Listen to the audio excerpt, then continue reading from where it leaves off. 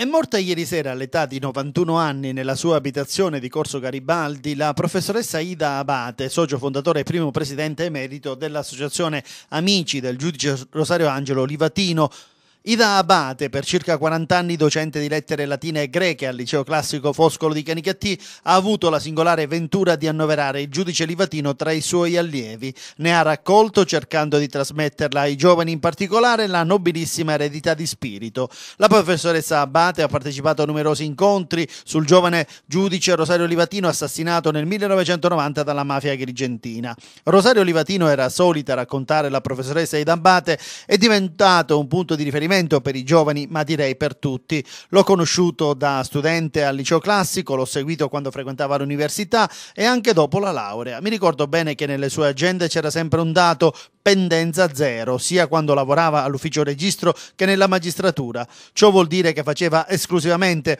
il suo dovere con impegno e fedeltà, ben sapendo a quali rischi andava incontro. Penso che se ognuno nel proprio campo cercasse di adempiere con senso di responsabilità al proprio dovere sino in fondo al servizio degli altri, io credo che le cose potrebbero cambiare e migliorare. Molto spesso concludo i miei discorsi ai giovani ricordando quello che Robilan, regista del film Il giudice ragazzino, disse nel 1994 nostro, questa nostra Italia, paese dei furbastri, dei Pulcinella, dove ha la meglio chi grida più forte, è anche l'Italia dei Livatino e dei Saetta, di quegli eroi sommersi, ignorati, che non fanno notizia perché si muovono senza retorica e senza fanfare. Gente che mm, compiono il loro dovere giorno dopo giorno con fedeltà, con coraggio e anche con paura, specialmente nel campo della magistratura. La salvezza dell'Italia è nelle loro mani. La salvezza dell'Italia, affermava Ida Abate, è anche nelle nostre mani. Dico ai giovani nella misura in cui ognuno, oggi come studenti, domani in tutti i campi in cui si possa essere inseriti, si faccia veramente la propria parte in quel modo, così come Rosario Livatino visse quella che per lui era una missione.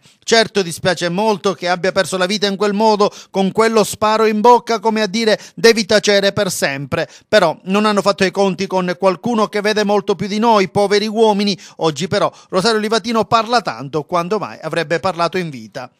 Nell'album dei ricordi di Ita Abate c'è anche la visita di Papa Giovanni Paolo II ad Agrigento che si è incontrato nel palazzo arcivescovile con i genitori di Rosario Livatino. Ero presente, presenti i genitori, il cardinale Pappalardo e il nostro vescovo Ferraro racconta nelle sue testimonianze Ida Abate. Il Papa ha detto semplicemente e testualmente così, è uno dei martiri della giustizia e indirettamente della fede, solo questo.